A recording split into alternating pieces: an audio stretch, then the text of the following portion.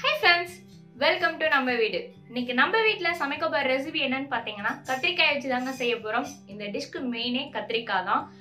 டிஷ்ஷோட name என்னன்னு பார்த்தீங்கன்னா என்ன கத்திரிக்காய் குழம்புங்க. இதை கொஞ்சம் வித்தியாசமாக கிராமத்து முறைப்படி கொஞ்சம் மசாலாலாம் அரைச்சி வச்சு செய்யலான்ட்டு இருக்கோம். ஸோ அதை எப்படி ரொம்ப ஈஸியாக சிம்பிளாக செய்யறதுன்னு நம்ம வீடியோக்குள்ளே போய் தெரிஞ்சுக்கலாம்.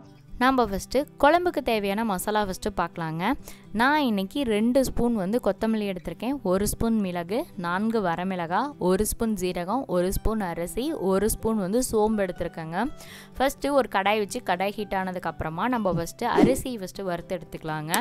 அரிசி வந்து அதிகமாக தேவையில்லைங்க. ஒரு ஸ்பூன் இருந்தால் போதும். ரொம்ப மணமாக இருக்கும். ஸோ அதனால் நான் வந்து இன்றைக்கி அரிசி வந்து எடுத்திருக்கேன். இப்போ அரிசி வந்து நான் வறுக்கிறேன் பாருங்கள் அரிசி வந்து போட்டதுலேருந்து இந்த மாதிரி இந்த மாதிரி ஒயிட் கலர் இந்த மாதிரி ஆயிடுச்சுன்னா நமக்கு வந்து அரிசி வந்து வறுபட்டுருச்சுன்னு அர்த்தம். இப்போ வந்து நம்ம இதை ஒரு மிக்ஸி ஜாருக்கு மாற்றிக்கலாம் இப்போ அதே கடாயில் ரெண்டு ஸ்பூன் வந்து கொத்தமல்லி வந்து நான் எடுத்திருக்கேன். இப்போ கொத்தமல்லி நம்ம வந்து வறுக்கலாங்க. கொத்தமல்லி அதிகமாக போடக்கூடாது. ஸோ பார்த்து போடுங்க. அதிகமாக போட்டிங்கன்னா கொத்தமல்லி வாசம் அடிக்கும் நான் இன்றைக்கி ரெண்டு ஸ்பூன் எடுத்திருக்கேன். இப்போ இது கூட நான்கு வரமிளகா ஒரு ஸ்பூன் வந்துட்டு மிளகு வந்து ஆட் பண்ணுறேங்க இந்த மிளகாய் கொஞ்சம் காரமாக இருக்கும். ஸோ அதனால் நான் நான்கு மரமிளகாய் எடுத்திருக்கேன். உங்கள் வீட்டில் மிளகாய் எப்படியோ அதுக்கு தகுந்த மாதிரி எடுத்துக்கோங்க. இப்போ இது கூட ஒரு ஸ்பூன் ஜீரகம் ஒரு ஸ்பூன் சோம்பையும் ஆட் பண்ணியிருக்கேன். இப்போ இது எல்லாத்தையும் நல்லா வறுக்கிறேன். லோ ஃப்ளேமில் வச்சு பண்ணணுங்க. ஹை ஃப்ளேமில் வைக்கக்கூடாது. ஹை ஃப்ளேமில் வச்சு பண்ணிங்கன்னா தீஞ்சிரும். அப்புறம் மசாலா வந்து தீஞ்ச வாசனை அடிக்கும். ஸோ அதனால் லோ ஃப்ளேமில் வச்சு பண்ணிங்கனாவே வறுக்க வறுக்க அதனுடைய மனம் வந்து ரொம்பவே நல்லாயிருக்கும். அதுலேருந்து தெரிஞ்சுக்கலாம். நமக்கு வந்து இது வந்து நல்லா வறுபட்டுருச்சுன்னு நம்ம தெரிஞ்சுக்கலாங்க. இப்போ வந்து இது ரெடி ஆகிடுச்சு இப்போ நான் ஆஃப் பண்ணிட்டேன். இப்போ இதை வந்து ஆற வச்சு நம்ம மிக்சியில் போட்டு அரைச்சி பவுடர் பண்ணி நம்ம எடுத்துக்கலாங்க. இப்போ இதை ஆறட்டும். நான் மிக்சியில் போட்டு பவுடர் பண்ணிக்கிறேன். இப்போ அடுத்து கத்திரிக்காங்க.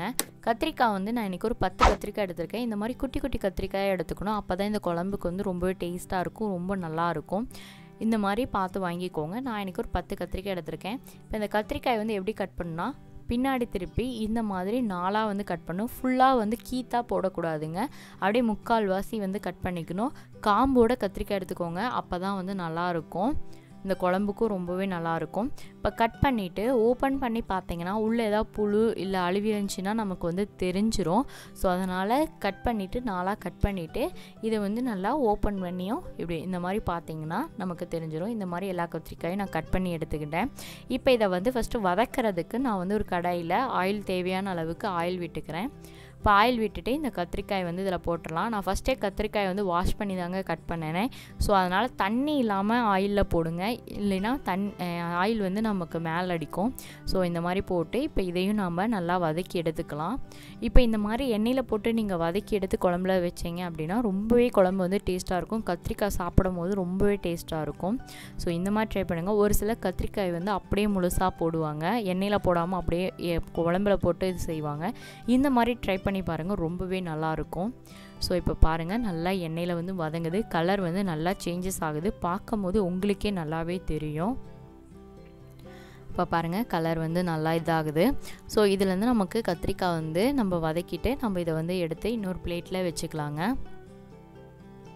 இப்போ பாருங்கள் நல்லா வதங்கிடுச்சு. இதையும் லோ ஃப்ளேமில் வச்சு பண்ணுங்கள் ஹை ஃப்ளேமில் வைக்காதீங்க. இப்போ இந்த மாதிரி ப்ரௌன் கலர் ஆகிடுச்சு இப்போ நம்ம இதை வந்து இன்னொரு பிளேட்டுக்கு வந்து நம்ம மாற்றிக்கலாம் கத்திரிக்காய் நல்லா வதங்கிடுச்சுங்க. பாருங்கள் பார்க்கும்போது உங்களுக்கே கத்திரிக்காய் வதங்கினது நல்லாவே தெரியும். இப்போ இதே இதில் வந்து நம்ம குழம்பு வந்து தாளித்து விடலாம். நான் இதில் வந்து இன்னும் கொஞ்சம் தேவையான அளவுக்கு ஆயில் விட்டுட்டு அதில் வந்து கடுகு கொஞ்சமாக போட்டிருக்கேங்க. கடுகு பொரிஞ்சதுக்கு அப்புறமா நம்ம இதில் வந்துட்டு வெங்காயம் தக்காளி பூண்டு கருவேப்பிலைங்க. இப்போ ஒரு கொத்து கருவேப்பிலை வந்து நான் இதில் வந்து ஆட் பண்ணுறேன் இப்போ ஆட் பண்ணிவிட்டு இப்போ அடுத்தது சின்ன வெங்காயம் வந்து நான் இன்றைக்கி எடுத்துருக்கேங்க. ஒரு பதினஞ்சு சின்ன வெங்காயத்தை எடுத்து நாளாக கட் பண்ணி வச்சுருக்கேன். இப்போ இதையும் இது கூட ஆட் பண்ணிக்கிறேன். இந்த குழம்புக்கு வந்து சின்ன வெங்காயம் ஆட் பண்ணிங்கன்னா ரொம்பவே நல்லாயிருக்கும் டேஸ்ட்டாக இருக்கும். ஸோ அதனால் நான் வந்து சின்ன வெங்காயம் வந்து எடுத்திருக்கேங்க. நான் ஒரு பதினஞ்சு சின்ன வெங்காயம் இதுக்கு எடுத்திருக்கேன்.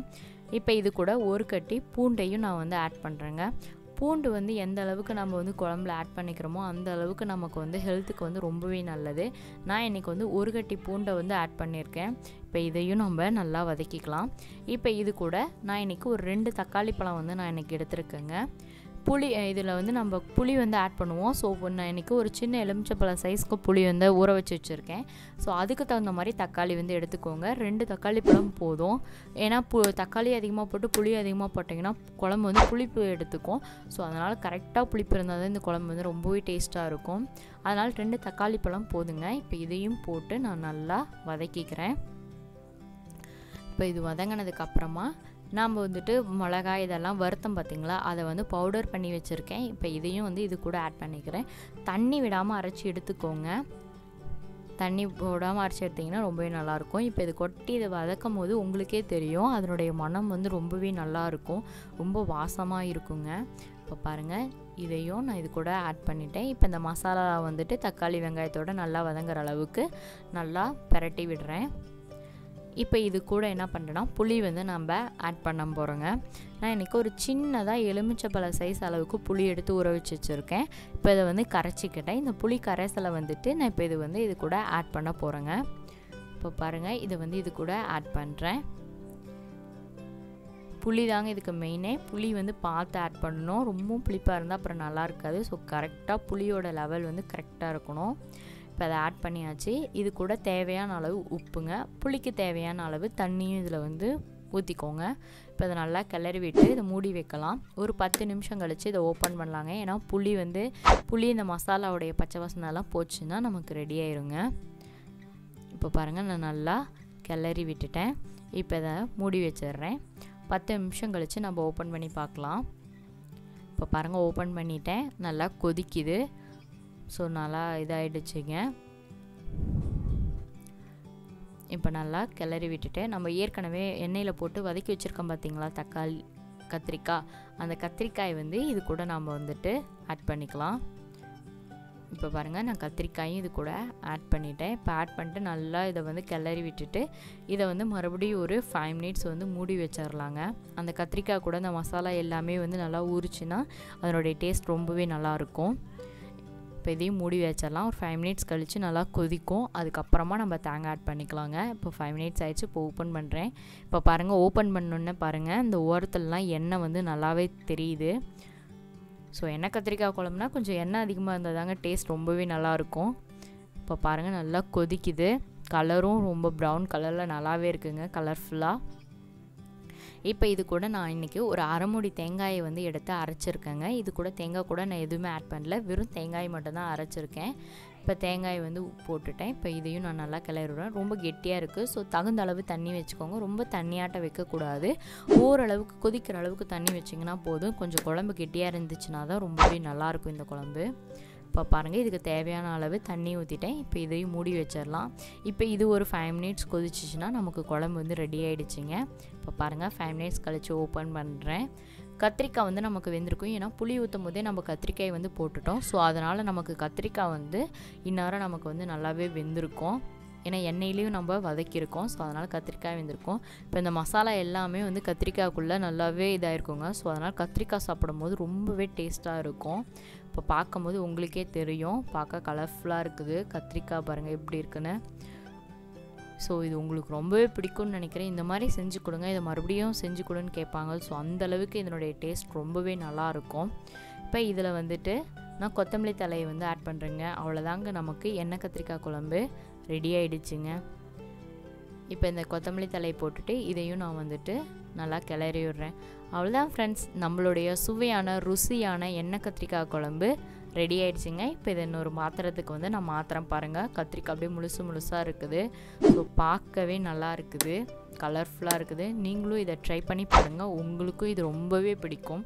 இது வரைக்கும் நீங்கள் இந்த சேனலை சப்ஸ்கிரைப் பண்ணல அப்படின்னா சப்ஸ்கிரைப் பண்ணிக்கோங்க. கூட ஒரு பெல் ஐக்கானையும் ப்ரெஸ் பண்ணிக்கோங்க. அப்போ தான் நாங்கள் போடுற வீடியோ உடனுக்குடன் உங்களுக்கு கிடைக்கும். மறக்காமல் சப்ஸ்கிரைப் பண்ணிடுங்க நீங்கள் புதுசாக பார்க்குறீங்க அப்படின்னா உடனே இந்த சேனலை சப்ஸ்கிரைப் பண்ணுங்கள் ஓகே ஃப்ரெண்ட்ஸ் இந்த வீடியோ உங்களுக்கு பிடிச்சிருந்தா லைக் பண்ணுங்கள் ஷேர் பண்ணுங்கள் கமெண்ட் பண்ணுங்கள் இந்த வீடியோ பற்றின கருத்துக்களை கமெண்டில் சொல்லுங்கள் அடுத்து ஒரு நல்ல வீடியோவுடன் உங்களை சந்திக்கிறேன். நன்றி வணக்கம்.